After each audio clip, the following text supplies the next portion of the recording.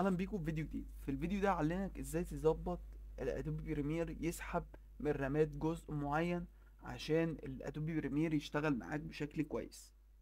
هنروح على أنا اسلام موندو بديك كورس ادوبي بريمير من تحت الصفر لحد الاحتراف.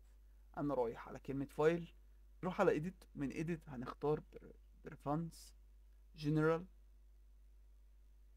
هنروح على ال memory من memory هنا بقى بظبط الرامات اللي يقدر ياخدها. أنا مثلا بيقول لي أنت عندك أنت عندك 8 رام أنا آخد 6 جيجا رام لل للبرامج يعني أي برامج أدوبي. وأي حاجة تانية بديها 2 رام بس. فأنا مبسوط قوي بالإعدادات ديت. أنا ممكن أقول له لا يا معلم خليني أربعة أربعة وأربعة. يعني أربعة رام للأدوبي بريمير وأربعة رام للجهاز بتاعي لو بعمل أي مهمة تانية. تمام؟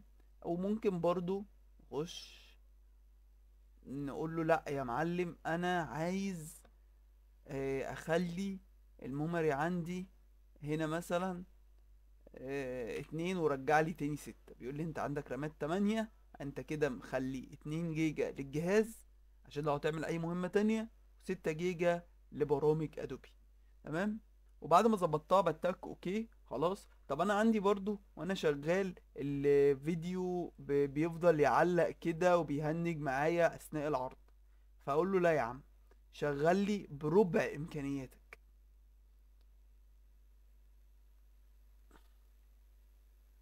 يعني شغل لي بربع الجودة بس شغلني بسرعة. عايز الجودة كاملة أهوت. على فكرة مش تأثر معاك أثناء الإخراج. ده بس عشان تسرع لك العملية فتخليها في الربع.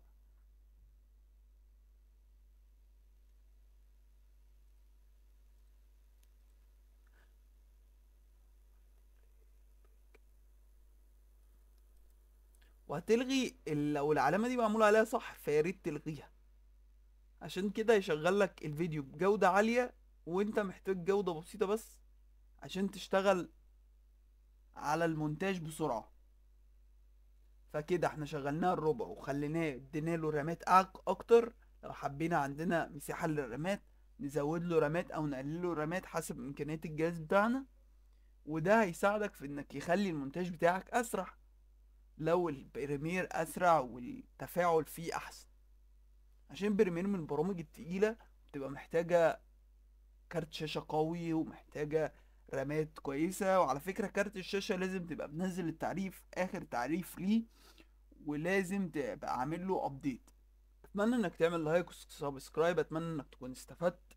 آه لو لازم تتفرج على الحلقات اللي فاتت والحلقات اللي بعد كده عشان أنا بدي كورس كامل. شكرا جدا على المشاهدة وأحب أختم الفيديو بكلمة لا إله إلا الله.